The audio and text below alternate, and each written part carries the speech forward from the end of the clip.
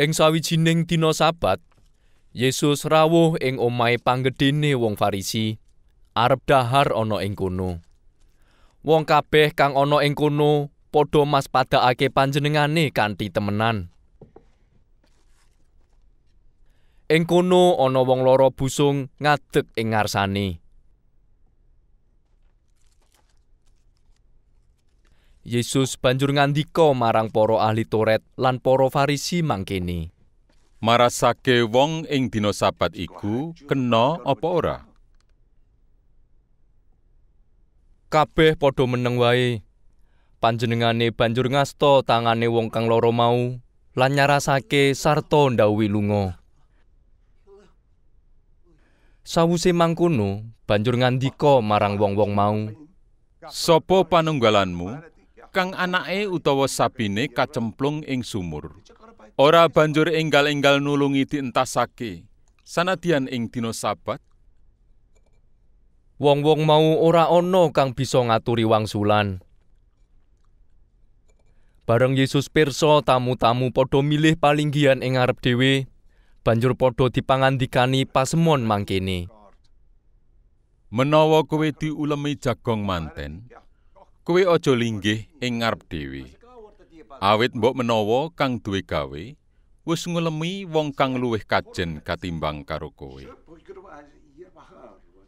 Supaya wong kang ngulemi kowe lan wong mau aja padha marani kowe lan kondo marang kowe.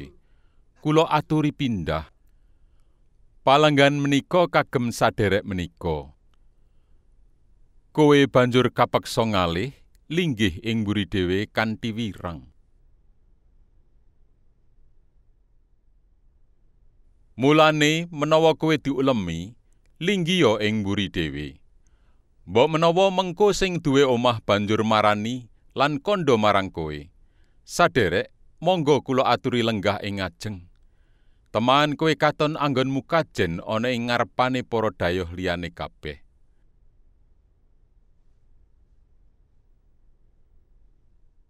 Sabab sing sapa ngluhurake awake dhewe bakal kaasorake. Lan sing sapa ngasorake awake dhewe bakal kaluhurake. Yesus uga banjur ngandika marang wong kang ngaturi rawuh panjenengane. Menawa kowe nganakake pesta ing wayah awan utawa bengi, kowe aja ngulemi mitra-mitramu utawa sadulur-sadulurmu utawa sanak kadangmu utawa tangga teparumu kang sugih-sugih. Amarga iku bakal padha genti ngulemi kowe. Dadi kowe wis oleh piwales. Nanging menawa kowe nganakake pesta, ngulemono wong-wong kang mlarat, kang cacat, kang lumpuh, lan kang buta.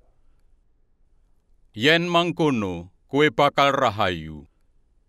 Amarga wong iku kabeh ora padha duwe kang kanggo males marang kowe. Dene kowe bakal tampa piwales besok ing dina tangine para wong mursid. Krungu pangandika kang mangkono iku, ana tamu kang matur marang Yesus. Rahayu tiang ingkang sami badhe kasegah nedha wonten ing kratoning Allah. Nanging Yesus ngandika marang wong mau, Ana wong nganakake pesta gedhen lan ngulemi wong akeh. Bareng wis ndungkap wayahe bujana, bature dikongkon kandha marang wong kang padha diulemi. Sumangga sami kersa rawuh, amargi sadayanipun sampun jumawis. Nanging kabeh mbaka siji padha nyuwun ngapura. Wong kang kapisan matur mangkene. Kula mentas tumbas pategilan. Kula badhe ningali mriku. Mila kula nyuwun pangapunten.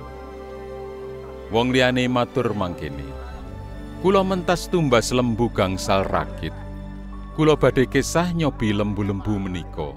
Mila nyuwun pangapunten. Wong liyane maneh matur. Kula saweke mawon emah-emah. Mila mboten saged sowan. Batur mau banjur mulih ngaturake iku kabeh marang bendarane. kang duwe omah nepsu banget sarta kondo marang bature. Enggal menyango ing dalan-dalan lan lurung-lurunge kutha.